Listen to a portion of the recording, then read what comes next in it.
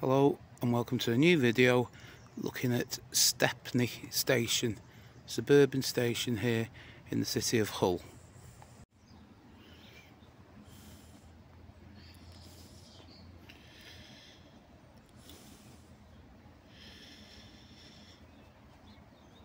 Don't know if this lamp is original with a, a modern fitting on the top of it there isn't a great deal of history really about Stepney Station. It originally opened in June 1853 and survived just until November 1854, serving some of the earliest commuter services within the UK.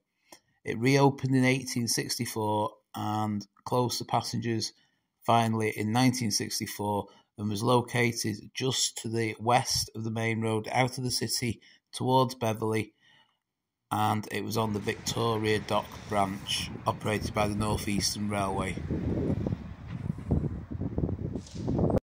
The line closed to freight traffic in 1968, however, there are some really fantastic remains left, both platforms and the very impressive station building, which is now in use as a community centre.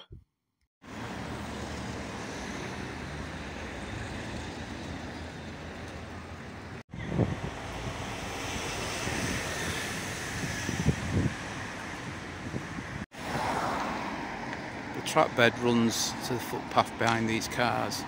Uh, you can see the road's called Station Road now. So, hope you enjoyed the video. Thanks for joining me here at Stepney Station in Hull. If you like it, please give it a like and subscribe to the channel. Thanks for watching. See you in the next one.